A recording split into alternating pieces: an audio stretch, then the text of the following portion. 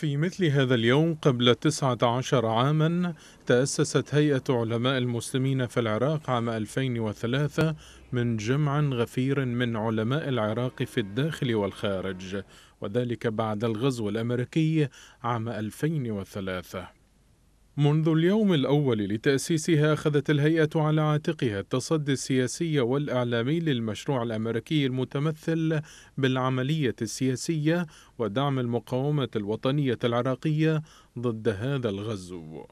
ناهضت الهيئة والتوجهات والأسس الطائفية والعرقية التي قامت عليها العملية السياسية وتبنتها أحزابها وميليشياتها وحذرت من تداعية هذا النهج الطائفي على حاضر العراق ومستقبل شعبه. كما حذرت من إقرار الدستور الحالي الذي تعامل مع الشعب العراقي بصفته مكونات طائفية وعرقية وليس شعبا واحدا ذا هوية كلية واحدة. الفتنة الطائفية كان لمخابراتكم ضلع كبير جدا فيها.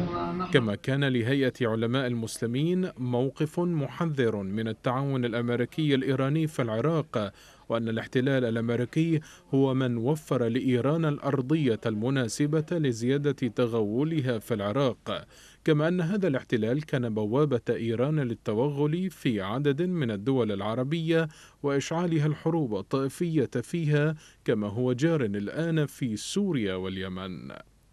وحذرت الهيئة من مشروع الصحوات الذي أسسه الاحتلال الأمريكي عام 2007 لتكون هذه التشكيلات رديفا لقواته التي أوذيت كثيرا في المعارك مع المقاومة الوطنية العراقية. مؤكدة أن هذا المشروع إنما يستهدف المقاومة العراقية تحت لافتة محاربة الإرهاب.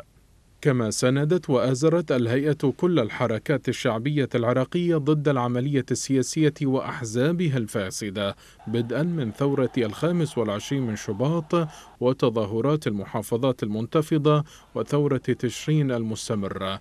كما كانت منصاتها الإعلامية في مقدمة من تصدى لفضح أهداف الحرب الطائفية التي شنتها الميليشيات وفرق الموت الطائفية ضد سكان المحافظات المنكوبة.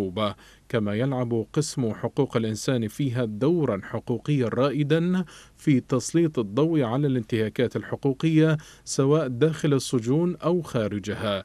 كما تنشط مؤسساتها الإغاثية في تسيير قوافل إغاثية لمساعدة النازحين والمهجرين. وهكذا حملت هيئة علماء المسلمين مسؤولية الدفاع عن العراق كل العراق فضلا عن تعريف الرأي العام العربي وحتى الدولي بحقيقة ما يجري في العراق منذ العام 2003 وحتى اليوم وهو ما كلفها أثمانا باهظة من دماء العديد من أعضائها فضلا عن تهجير ومطاردة الأحياء منهم.